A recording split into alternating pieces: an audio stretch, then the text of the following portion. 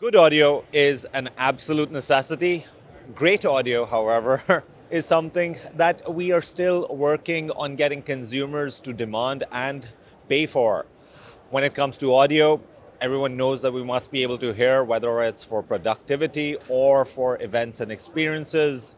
But there are some challenges, and I think the market, especially on the manufacturer side, is beginning to address them when you look at commercial spaces, especially corporate and uh, education, ceiling space is coming at a premium and is actually shrinking. Um, add to that the fact that control rooms are not readily available. This makes audio deployments kind of tricky. PoE has helped out a lot, and I think we're at the brink of a new wave of ceiling speakers that are actually designed to address these concerns. At the same time, amplification is also becoming smaller and smaller, trying to get out of the rack and actually get into the places where the ceiling speakers are. So it's a really interesting space, and I think that the solutions to solve the problems of shrinking ceiling space are going to be available very, very soon. Microphones are another extremely interesting segment and product vertical primarily because they're being used for presenter tracking.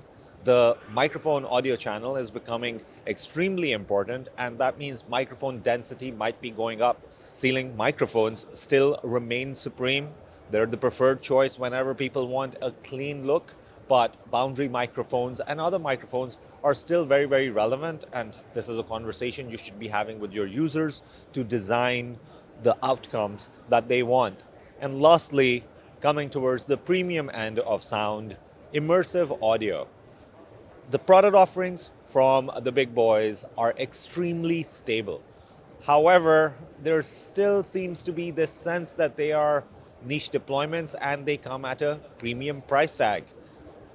I would still consider looking into immersive audio just because of the great audio experience it can create, but proceed with caution getting a technology from the premium side into mass deployment is extremely hard. Bringing that price tag down is also extremely hard, primarily because the product is doing something that is extremely difficult to achieve.